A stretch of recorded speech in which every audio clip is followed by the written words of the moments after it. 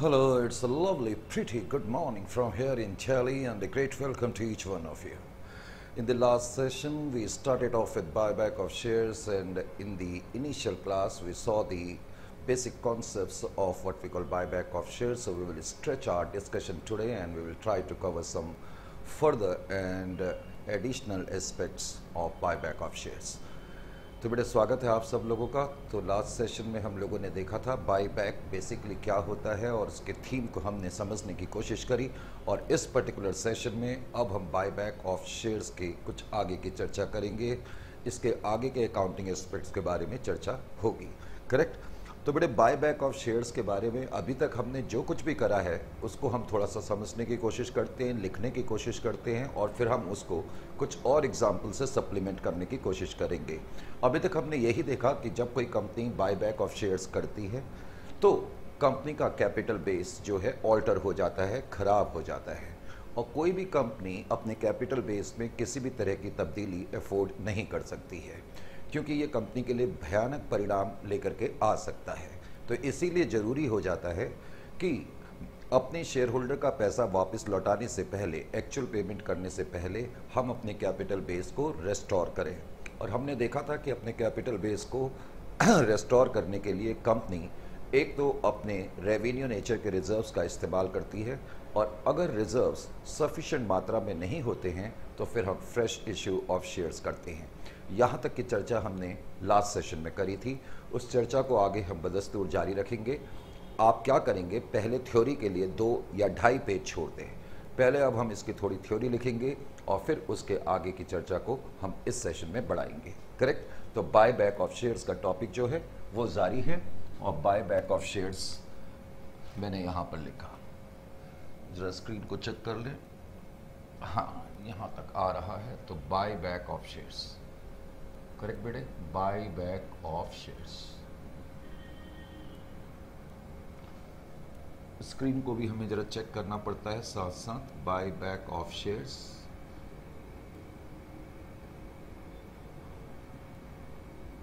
तो buy back of shares की चर्चा अब हम स्टार्ट करते हैं। आइए बेटे फटाफट मेरे साथ लिखना शुरू करें। पहले हम बाई बैक की कुछ नॉर्मल चीज़ों के बारे में बातचीत करेंगे और उसके बाद हम अपनी चर्चा को आगे बढ़ाएँगे, ठीक है? तो आप मेरे साथ साथ लिखना शुरू करें। एक मिनट में ज़रा वायरिंग ठीक कर लूँ। लाइए जी। Buy back of share buy back of share simply refers to buy back of shares buyback of shares.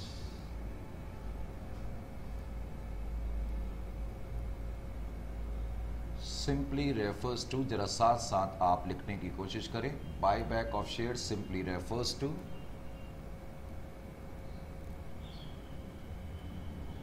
repurchase of own shares repurchase of own shares.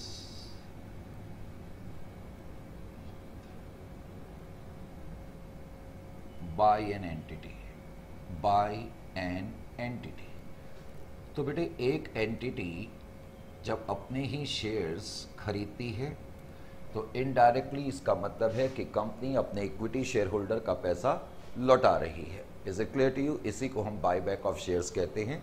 लेकिन हम इसको रिडम्शन ऑफ़ इक्विटी इसको हम रिडम्शन ऑफ़ इक्विटी शेयर नहीं कहते हैं। जैसे कि हम redemption of preference shares word use करते हैं रिडम्शन ऑफ़ डिवेंचर यूज़ करते हैं, जब हम डिवेंचर होल्डर का पैसा लौटाते हैं या प्रेफरेंस शेयर होल्डर्स का पैसा लौटाते हैं। लेकिन जब कोई कंपनी अपने इक्विटी शेयर होल्डर्स का पैसा लौटाती है तो उसको रिडम्शन क्यों नहीं बोलते? क्योंकि यहाँ हमारा पहले से कोई कमिटमेंट नहीं है। क्योंकि जब कोई कंपनी इक्विटी शेयर इशू करती है तो उस वक्त कंपनी कोई कमिटमेंट नहीं देती कि आपका पैसा कब और किस वक्त लौटाया जाएगा। Is it clear to you इसीलिए हम इसको रिडम्शन ऑफ़ इक्विटी शेयर ना कह करके क्या कहते हैं? Buy back of equity shares तो रीपर्चेज ऑफ़ ओन इसको आप बेटे इक्विटी शेयर्स लिख लें। ओन इक्विटी शेयर्स करेक्ट लाइए जी, आगे हम पढ़ते हैं। When a company या when an entity, when an entity when an entity buys back its own shares जब एक entity अपने शेयर खरीदती है when an entity buys back its equity shares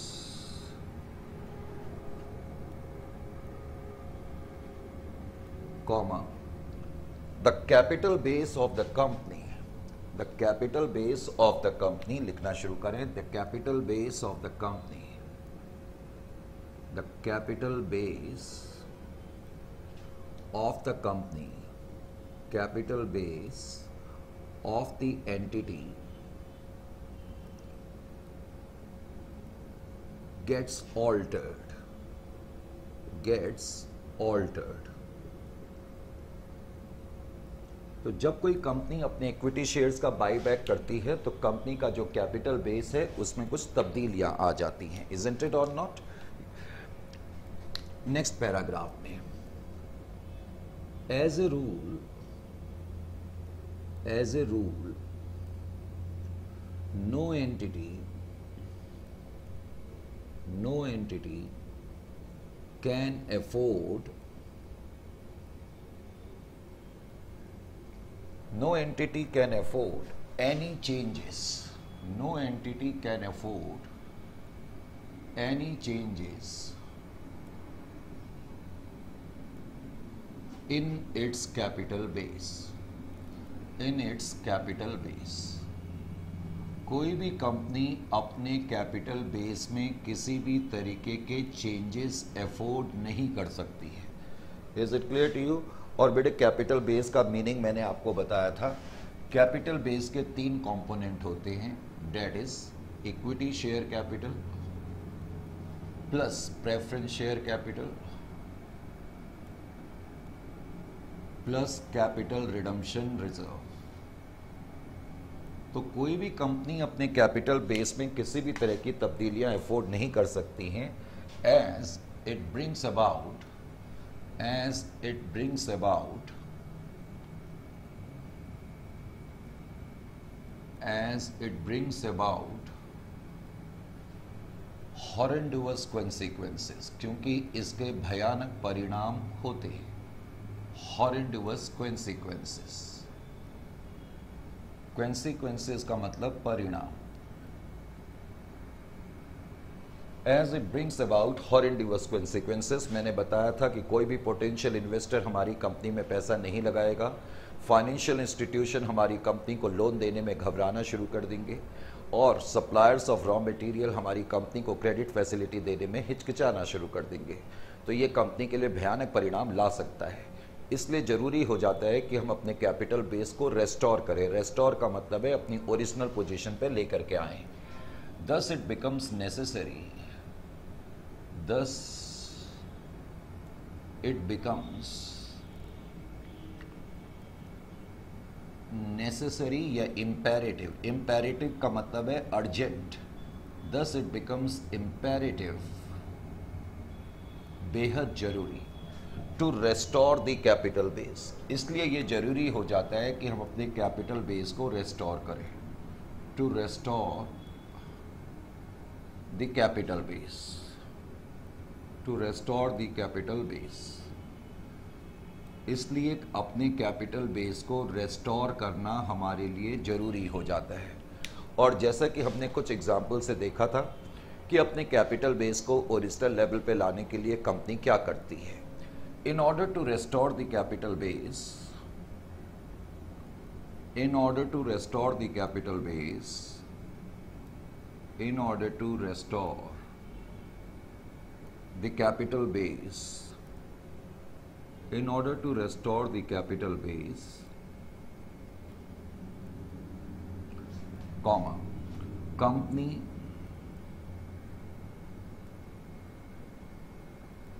utilizes its company utilizes its reserves revenue reserves. Its revenue reserves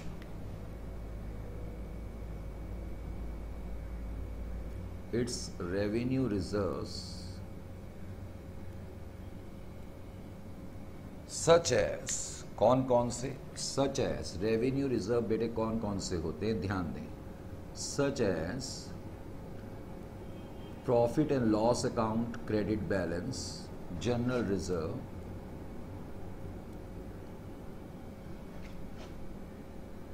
general reserve reserve fund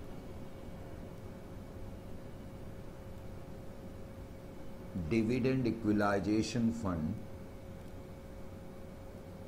dividend equalisation fund dividend equalisation fund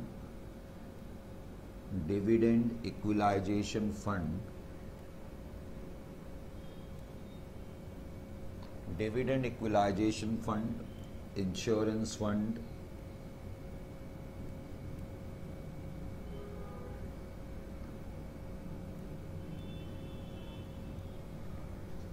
workmen compensation fund, workmen compensation fund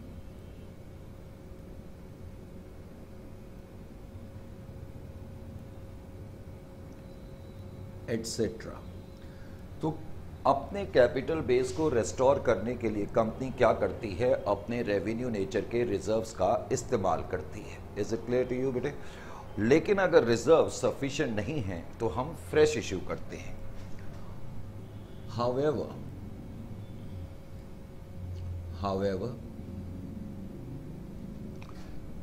if reserve are insufficient if reserve are not sufficient या insufficient if reserve are insufficient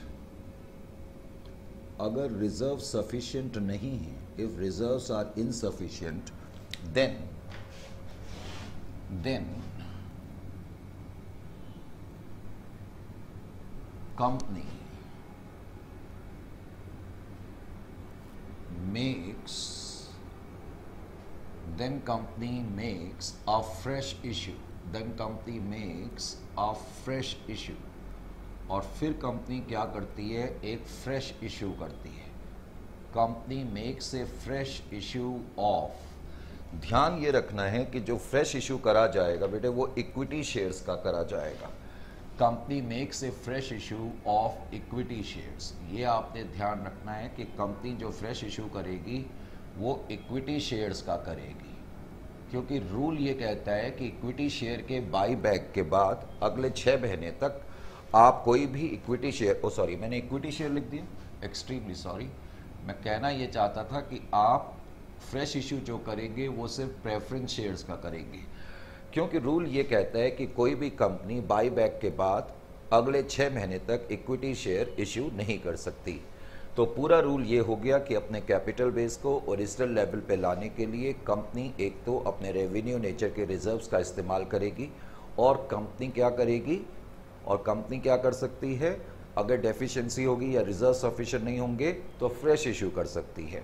और fresh issue किसका करेगी? Preference shares का करेगी। Is it clear to you बेटे, अब आप क्या करेंगे? ढाई पेज अपनी थ्योरी के लिए छोड़ दो। क्योंकि अब मैं कुछ एग्ज़ाम्पल और कराऊँगा। तो ढाई पेज के बाद, जैसे कि ये पेज नंबर वन है पेज नंबर टू है और पेज नंबर तीन तीन पेज छोड़ करके आप एग्ज़ाम्पल नोट करना, क्योंकि बीच बीच में मेरे को थ्योरी और लिखानी पड़ेगी तो आप थ्योरी फिर यहीं पर लिखना। थ्योरी आप एक ही जगह लिखें और प्रैक्टिकल एक जगह करें। आइए, अब इस, यहाँ तक क्योंकि हम कर चुके हैं तो यहाँ तक की थ्योरी आपकी समझ में भी आ गई है। अब, आगे जो मैं केस कराऊँगा, वो प्रीमियम का कराऊँगा। और आज जो हम केस करेंगे, एक तो अभी तक जो हमने करा है, उसको हम रिकैप करेंगे और फिर हम प्रीमियम का केस भी करेंगे। Is it clear to you तो उनकी थ्योरी जो होगी, वो हम बाद में लिखेंगे, लेकिन जब मैं थ्योरी लिखने के लिए कहूँगा तो आप यहीं से कंटिन्यू करेंगे। ठीक है बेटे? तो मैं इसको मिटा रहा हूँ, और मिटाने के बाद अब हम आज के कुछ एग्जाम्पल्स नोट करते हैं।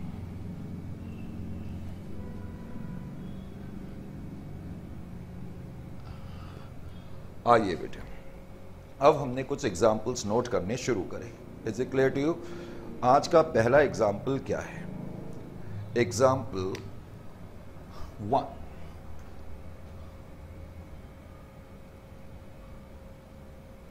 या इसको लिखो आप concept question one concept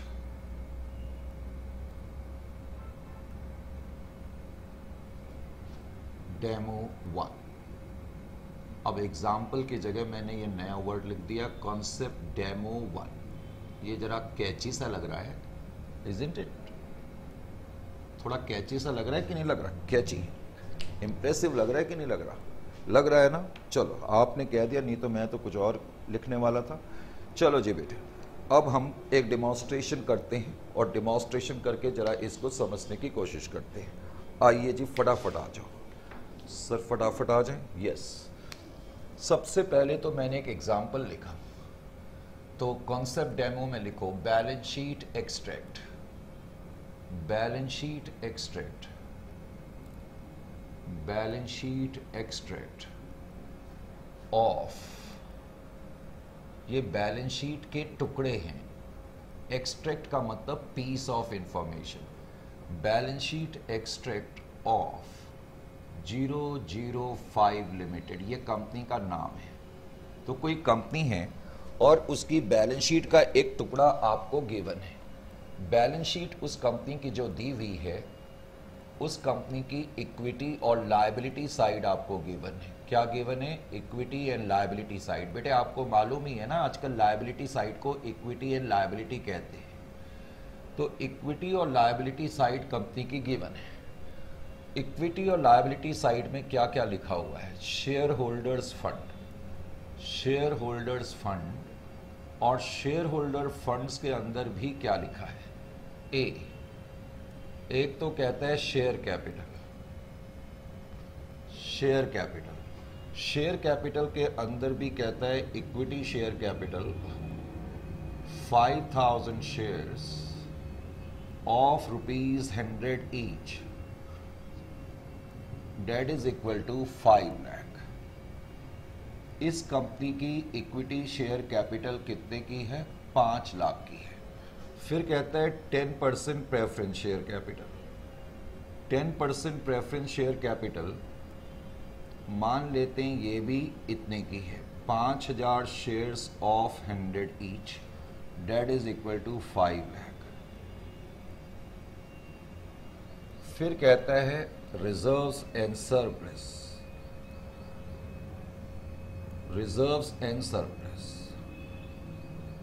Reserves and surplus के अंदर.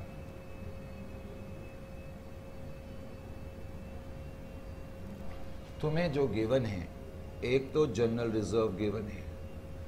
मान लेते हैं कि जनरल रिज़र्व तीन लाख का गिवन है. Profit and loss account profit and loss account में वन लैख गिवन है. वर्कमैन कंपनसेशन फंड ये वर्कमैन कंपनसेशन फंड है बेटे, मैंने शॉर्ट फॉर्म में लिखा है वन लैख फिर टू कंपनी की कोई नॉन करेंट लायबिलिटी नहीं है. एन सी एल का मतलब है नॉन करेंट लायबिलिटी मान लेते कोई नॉन करेंट लायबिलिटी नहीं है करेंट लायबिलिटी मान लेते हैं कि कंपनी की करंट लायबिलिटी फोर लैक्स की है. तो ये लायबिलिटी साइड की इंफॉर्मेशन है करेक्ट हमें अभी फ़िलहाल एसेट साइड की इंफॉर्मेशन चाहिए भी नहीं। तो हम कह सकते हैं कि इस केस में 10 लाख 13 लाख 14 लाख 15 लाख और 4 लाख। चलो इसको भी फिर 5 लाख कर देते हैं। तो लायबिलिटी साइड का टोटल आपका 20 लाख का गिवन है। This is your liability side correct अब क्वेश्चन में इसके आगे लिखा हुआ है कि on this date on this date directors decide on this date directors decide on this date directors decide इस दिन डायरेक्टर्स ने डिसाइड करा on this date director decide to buy back buy back 25% of its equity share capital 25% of its equity share capital 25 percent of its equity share capital ये question है correct अब कभी भी question solve करना हो और इस क्वेश्चन का मैं टाइटल या केस भी जो लिख दूँगा, ये कौन सा केस है? व्हेन रिजर्व्स आर सफिशिएंट कैसे ये अभी हम देखेंगे? ये कॉन्सेप्ट है when reserves when reserves are sufficient जब रिज़र्व आपके सफिशिएंट है, ये वो वाला केस है concept number one correct concept number one में हम केस देख रहे हैं, जब हमारे पास रिज़र्व सफिशिएंट है। Is it clear to you आइए जी।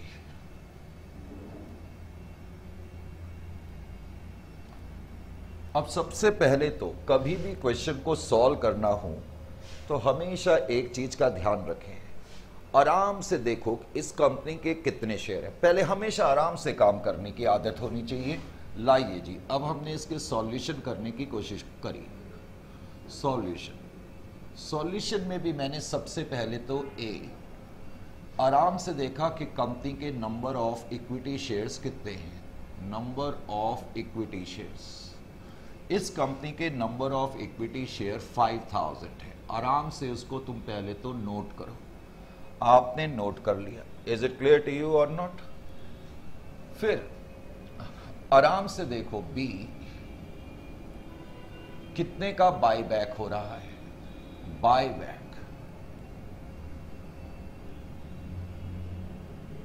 बाय बैक जो हो रहा है, वो 25 परसेंट हो रहा है। 25 परसेंट का मतलब 1250 शेयर का बाय बैक हो रहा है। 1250 शेयर इज़ इट इट और नॉट 1250 शेयर का बाईबैक है। फिर step number C step number C में अब आपने क्या देखना है? इनफैक्ट इतना देखने के बाद अब आप आगे से एक काम और करेंगे। अब आप आराम से देखो नॉमिनल वैल्यू जो बाई बैक हो रहा है, उसकी नॉमिनल वैल्यू कितनी है? Is it clear to you तो नॉमिनल वैल्यू कितनी हो जाएगी? दैट इज़ इक्वल टू जो इक्विटी शेयर कैपिटल का आप बाय बैक कर रहे हैं nominal value of buy back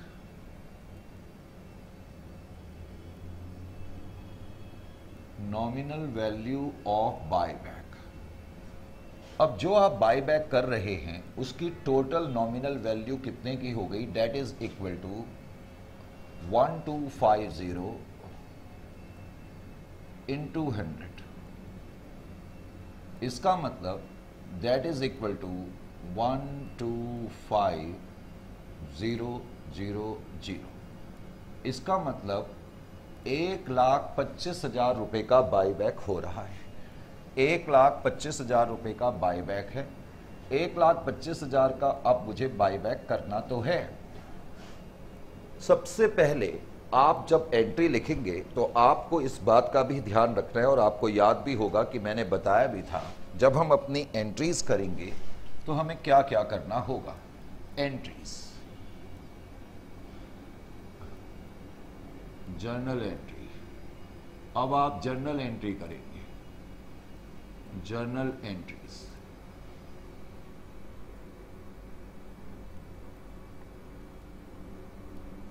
जब आप जर्नल एंट्री करेंगे तो जर्नल एंट्री करते समय भी आपने ध्यान क्या रखना है? पे अटेंशन सबसे पहली एंट्री आपकी क्या होगी? Entry number A amount due for buy back या amount due to equity shareholders amount due to equity shareholders तो इक्विटी शेयर होल्डर्स को जो पैसा आपने पे करना है, पहले तो आप उसकी ड्यू एंट्री करेंगे। करेक्ट अब ड्यू एंट्री आपकी क्या होगी? Equity share capital account debit आपके पास 1250 शेयर वापस आएँगे। 1250 शेयर वापस आ गए। एक शेयर की नॉमिनल वैल्यू सौ रुपये की है। एक लाख पच्चीस हज़ार रुपये का बाई बैक फिर मैंने बताया था कि आप टू इक्विटी शेयर होल्डर ना लिख करके equity share buy back account लिखेंगे। Equity share buy back account equity share buy back account is it clear to you अब हमें मालूम है कि जब हम ये एंट्री करते हैं, मैंने बताया था कि हमारा कैपिटल बेस बिगड़ जाता है। अब अपने कैपिटल बेस को ओरिजिनल लेवल पे लाने के लिए हमें क्या करना होगा?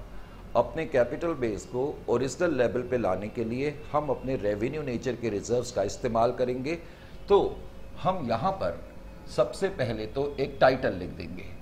टाइटल मैंने क्या लिखा? चलो अलग से कर देते हैं। आपको समझाने के लिए बार बार फिर उसकी ज़रूरत पड़ेगी। यहाँ पर मैंने लिख दिया working for working for restoration of working for restoration of capital base अपने कैपिटल बेस को रेस्टोर करने के लिए आप वर्किंग करेंगे।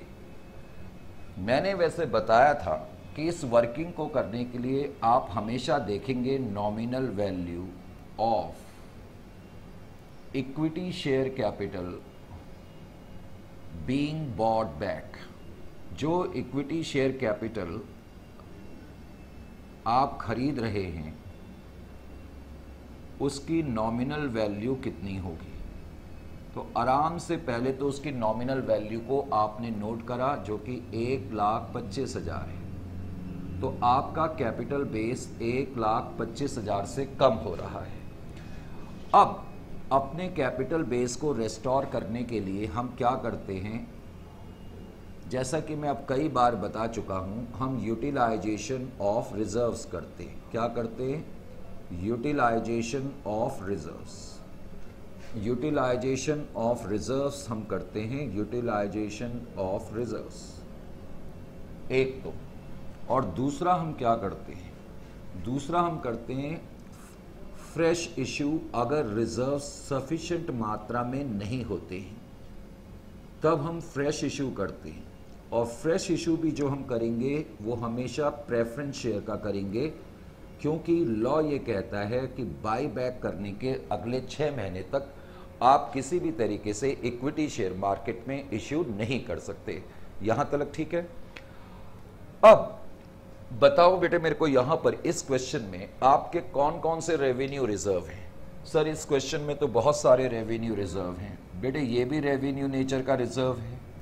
ये भी रेवेन्यू नेचर का रिज़र्व है, ये भी रेवेन्यू नेचर का रिज़र्व है। तो इसका मतलब इस क्वेश्चन में जितना अमाउंट हमें चाहिए, उससे कहीं ज़्यादा मात्रा में हमारे पास रिजर्व्स मौजूद है इजेंटेड और नॉट तो इसलिए ये जो केस है वेन रिज़र्व आर सफिशियंट का केस है। अब मुझे एक लाख पच्चीस हज़ार चाहिए, मैं किसी में से भी ले सकता हूँ, मैंने जनरल रिज़र्व से ले लिए। ऐसा कोई पर्टिकुलर रूल नहीं है। आप किसी में से भी ले सकते हैं तो आपने जनरल रिज़र्व से ले लिए। रीज़न सिर्फ़ ये है कि जनरल रिज़र्व में ज़रा ज़्यादा बैलेंस है। तो मुझे कोई फ्रेश इशू करने की ज़रूरत नहीं है। Is it clear to you और नॉट तो जैसी मैंने ये वर्किंग करी इमीजिएटली मैं इसकी एंट्री कर दूँगा। मेरी दूसरी एंट्री जो होगी, वो होगी बी एंट्री नंबर बी मैंने यहाँ पर करी B utilisation of reserves utilisation of reserves अब हमने यूटिलाइजेशन ऑफ़ रिजर्व्स की एंट्री करी जब हम अपने रिजर्व्स को यूटिलाइज करेंगे, ये बुकिश एंट्री है मैंने बताया था, इससे एसिड साइड पे कोई फ़र्क तो नहीं पड़ेगा। हालाँकि लाइबिलिटी साइड में थोड़ा शिफ्टिंग और रीशिफ्टिंग हो जाएगी इज़ इजेंटेड और नॉट तो जनरल रिज़र्व से मैंने एक लाख पच्चीस हज़ार रुपये लिए। और फिर मैंने क्या करा, उसको ट्रांसफ़र कर दिया कैपिटल रिडम्शन रिज़र्व अकाउंट में। To C R R account, एक लाख पच्चीस हज़ार। करेक्ट? उसके बाद, इस क्वेश्चन में मुझे कोई फ्रेश इशू नहीं करना पड़ा, इसलिए फ्रेश इशू की ज़रूरत नहीं है। जब मैंने ये एंट्री करी तो इसका मतलब मेरा कैपिटल बेस रेस्टोर हो गया है और बिकॉज़ मेरा कैपिटल बेस रेस्टोर हो गया है तो अब मैं क्या करूँगा? अब मैं क्या करूँगा? अब मैं एक्चुअल पेमेंट की एंट्री करूँगा। अब मैंने एक्चुअल पेमेंट की एंट्री कर दी तो एक्चुअल पेमेंट की एंट्री मैंने करी। लेटेस्ट से मैंने यहाँ पर कर दी एक्चुअल पेमेंट तो एक्चुअल पेमेंट की आपने एंट्री करी तो एक्चुअल पेमेंट की बेटे आपकी एंट्री हो जाएगी ये। Actual payment equity share buy back account debit to bank account. अब हम एक्चुअल पेमेंट कर देंगे एक लाख पच्चीस हज़ार की। समझ में आया कि नहीं? एक लाख पच्चीस हज़ार, ये मैंने एंट्री कर दी। यहाँ तक कोई प्रॉब्लम तो नहीं है सर बिल्कुल नहीं है। अब मुझे ये बताओ, मैं ऐसे ही पूछना चाहता हूँ, किसी कारण से मैंने तुमसे पूछ लिया। जल्दी से मुझे ये बताओ जल्दी से मुझे जरा आप ये बताओ। करेक्ट कि लाइबिलिटी साइड की पोजीशन क्या है after the after the buyback तो balance sheet position after the buyback balance sheet position after buyback अगर मैं आपसे पूछूँ कि बायबैक के बाद बैलेंस शीट की पोजीशन क्या है तो आप मुझे कैसे बताएँगे? आप जल्दी से बताओ बेटे क्या क्या बताओगे? पहले तो मुझे यह बताओ कि आपकी जो इक्विटी शेयर कैपिटल है one shareholder fund shareholder fund के अंदर भी हम लिखते हैं शेयर कैपिटल शेयर कैपिटल के अंदर भी हम लिखते हैं इक्विटी शेयर कैपिटल हाँ जी। आपकी इक्विटी शेयर कैपिटल पहले पाँच लाख की थी, वो अभी भी पाँच लाख की है। इक्विटी शेयर कैपिटल में कोई बदलाव नहीं है। इक्विटी शेयर कैपिटल के बाद आपकी जो ten percent preference share capital थी, वो अब ज़ीरो हो गई। सर ये ज़ीरो हो गई। हाँ बेटे प्रेफरेंस शेयर कैपिटल में क्रेडिट बैलेंस है और आपने एंट्री में सॉरी मैंने ये गलत कह दिया इक्विटी शेयर कैपिटल आपका ज़ीरो हो गया और 10 परसेंट प्रेफरेंस शेयर कैपिटल में 5 लाख का बैलेंस है। जरा ध्यान से समझने की कोशिश करें इस पॉइंट को। Balance sheet position after the buyback equity share capital account में जो बैलेंस है वो पाँच लाख रुपए का था करेक्ट अब आपकी इक्विटी शेयर कैपिटल एक लाख पच्चीस हज़ार से कम हो गई। तो five lakh minus one lakh twenty five thousand